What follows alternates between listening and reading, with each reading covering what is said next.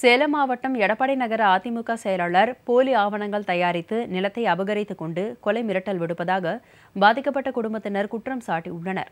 மாவட்ட ஆட்சியர் அலுவலகத்தில் மண்ணெண்ணெய் ஊற்றி பள்ளி மாணவி உட்பட ஒரே குடும்பத்தைச் சேர்ந்த ஏழு பேர் தற்கொலைக்கு முயன்றனர்.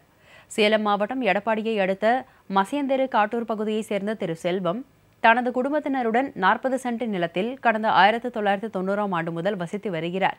எடப்பாடி நகர அதிமுக செயலாளராக உள்ள ஆலசம்பாளையம் கேபிள் முருகன் என்பவர் போலியான ஆவணங்கள் தயாரித்து நிலத்தை அபகரித்துக் கொண்டதாகவும் அடியாட்கள் மூலம் தாக்குதல் நடத்தியதாகவும் செல்வம் குற்றம் சாட்டியுள்ளார்.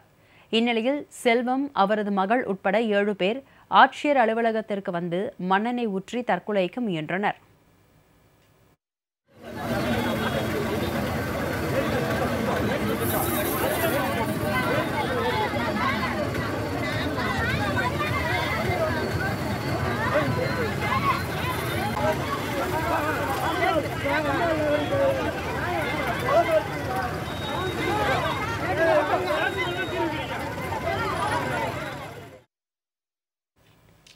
ஆட்சியர் அலுவலகத்தில் பாதுகாப்பு பணியில் இருந்த காவலர்கள் தற்கொலைக்கு முயன்றவர்களை தடுத்து நிறுத்தி விசாரணைக்கு அழைத்துச் சென்றனர்.